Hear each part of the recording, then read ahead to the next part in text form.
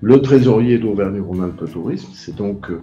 euh, en tant que trésorier, mais aussi en tant que représentant d'Auvergne-Rhône-Alpes Tourisme, que je souhaite poursuivre mon travail d'administrateur auprès d'Apidae, euh, avec la fierté d'avoir contribué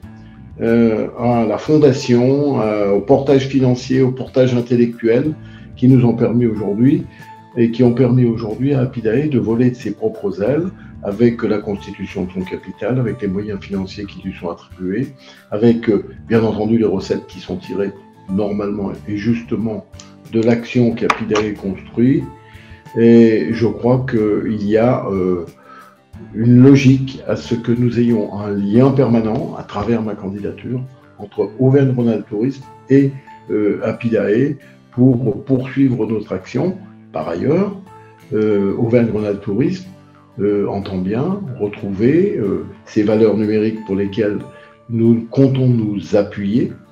en termes de valorisation, en termes de, de construction d'un patrimoine intellectuel, d'un patrimoine d'image et d'un certain nombre de choses qui sont aujourd'hui indispensables aux orientations qui ont été fixées par le président d'Auvergne-Rhône-Alpes.